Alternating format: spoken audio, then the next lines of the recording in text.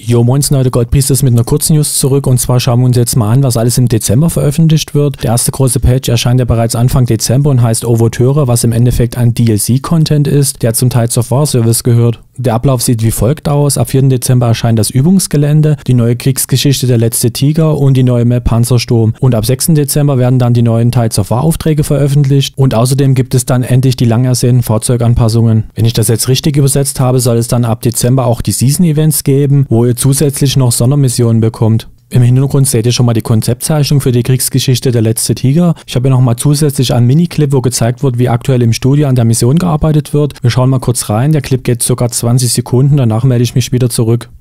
Turm auf 1 Uhr!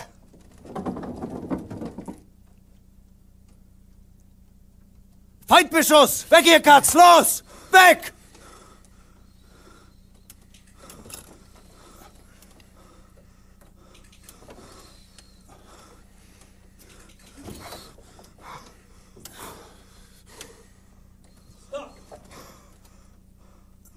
Sieht fast schon wie auf dem Filmset aus. Auf jeden Fall eine geile Sache. Im Hintergrund sehen wir schon mal eine kleine Vorschau auf die kommenden Panzerskins für Dezember. Hier auf dem Bild sind insgesamt zwölf Skins aus dem Konzeptzeichnungsbuch zu sehen, mit je drei Flugzeugen und neun Panzerskins.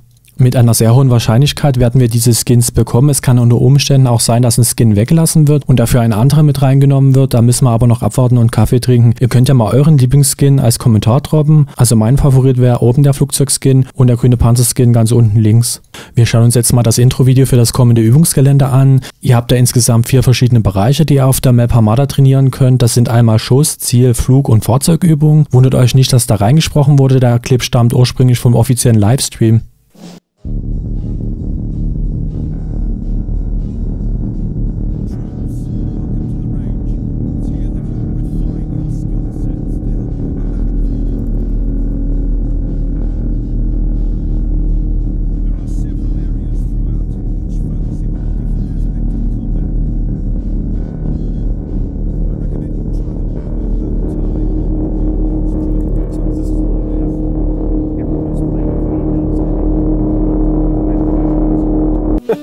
So I'm going to be using this practice range quite a bit. So Eric, tell us what's happening here. So there's different sections within the practice range that you can hone in different skills uh, within Battlefield. And here's the target practice range. Yeah, so this, yeah, exactly. This is the target practice, and um, there's a bunch of different types of target practices you can do. We saw the shooting range here, where you can set targets on different ranges to try out your, your sniper and your drops uh, on the different guns. There's also some really cool aiming practices like you're seeing here on the on screen right now, which is super cool if you really want to, you know, get that twitch aim right, uh, weapons are really master it. Drunk C would slaughter that. Yeah. oh, he does. Uh, so that's super cool. And of course, this uh, uh, motor practice range is super, super cool as well. You can actually practice your driving skills. Uh, that's something that's usually very hard in, in, in MP, right? You, you, can get a tank if you're lucky. There's going to be a lot of assault players out to get you. You become a very visible target when you jump into a tank or a transport. So it's fantastic to just jump in. Uh, you can actually race around. We got a little race in there, uh, so, so you can uh, see how fast you can go and, and, learn to take those tight turns. Super, super, super good. So here you can practice your flying skills, so that way you can take on the challenge of going upside down through the Twisted Steel oh, absolutely. bridge. Perfect.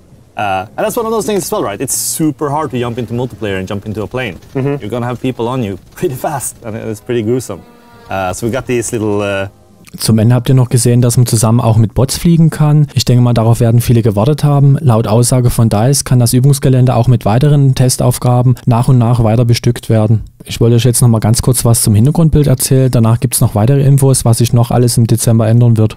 Wer sich schon immer mal gefragt hat, woher stammen eigentlich die ganzen Doctex von der Battlefield-Serie, die haben seit Battlefield 1942 Einzug gehalten und sind natürlich ganz regulär über die Kaufbox enthalten. DICE-Mitarbeiter haben zum Beispiel die rot markierte Box bekommen. Zu finden sind die natürlich auch auf Messen wie EA Play, E3 oder Gamescom oder direkt auf Firmenveranstaltungen. Ihr seht, da ist alles dabei von Battlefield 2, Battlefield 3, Battlefield 4 und Bad Company. Ganz unten in der Mitte ist sogar eine aktuelle zu finden für die offizielle Release-Party. Mich würde ja mal interessieren, wo eigentlich die Smiley-Granate drin war. Wenn das jemand weiß, droppt mal einen Kommentar Kommentar dazu. Ansonsten gab es noch die diesjährige Gamescom DocTag, die hatte mir Mr. Super, ein Abonnent, zugesendet. Im Hintergrund läuft jetzt die neue Panzersturm-Map, die ebenso im Dezember veröffentlicht wird, welche enorm groß ist und den Fokus auf Fahrzeuge hat. Als Infanteriespieler muss man da extrem aufpassen, wo man langläuft und muss natürlich dementsprechend dann auch Stellen finden, wo man sich am besten positionieren kann. Insgesamt gibt es 14 Panzer, pro Seite 7 Stück.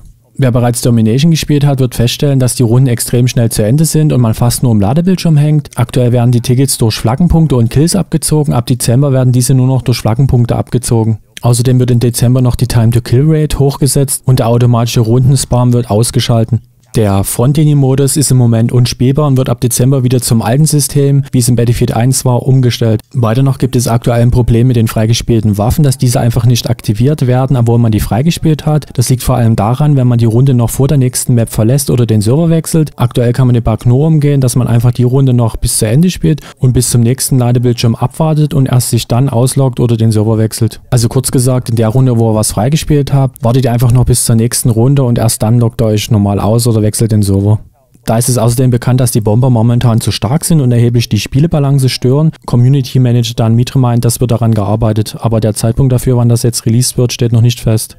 Battlefield Producer David Sirlin hat außerdem via Reddit bekannt gegeben, dass im Dezember-Patch noch die Möglichkeit eingeführt wird, sich im Panzerturm zu ducken. Zurzeit ist das Maximum-Level ja 50. Ab diesem Zeitpunkt kann man keine Company-Münzen mehr sammeln. Leute, das ist natürlich nicht so gewollt. Da ist arbeitet bereits an einer Lösung. Ob das jetzt im Dezember-Patch schon dabei ist, kann ich nicht sagen. Zukünftig soll es auch wieder möglich sein, selbst erstellte Embleme zu erstellen. Daran wird aber noch gearbeitet und der Zeitpunkt der Veröffentlichung ist auch noch unbekannt. Laut Florian Lebehain soll der Recall von der KE-7 und der Panzerfaust angepasst werden. Weiter noch soll es irgendwann die Möglichkeit geben, Verletzte aus dem Schlachtfeld zu ziehen. Die letzten drei Änderungen, wann jetzt die konkret äh, eingeführt werden, ist noch unbekannt.